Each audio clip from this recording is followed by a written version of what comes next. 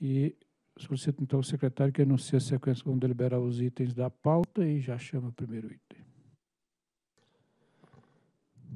Bom, sobre a 13 terceira reunião pública ordinária, informo inicialmente que foi retirado de pauta o item de número 7. Informo também que foram destacados do bloco a pedido dos interessados os itens 17 e 18. Passo então a informar a ordem de deliberação.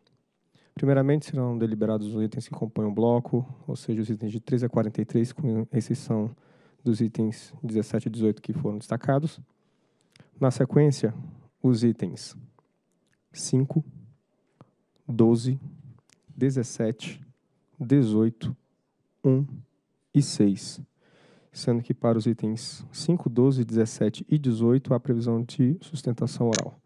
Dessa forma, submeto à deliberação da diretoria os itens que compõem o bloco, de 13 a 43, com exceção dos itens 17 e 18, aproveitando o ensejo para informar que as minutas de voto e ato administrativo estão disponíveis no nosso site desde a última quinta-feira. Bem, indagos tem interesse em destaque de mais algum item do bloco? Não havendo, submeto então à votação o bloco compreendido dos itens 3 a 43, exceto os que foram destacados, itens 17 e 18. Em votação. Eu voto pela aprovação dos itens remanescentes do bloco. Eu voto pela aprovação de todo o bloco. Também voto pela aprovação dos itens remanescentes do bloco. Próximo item.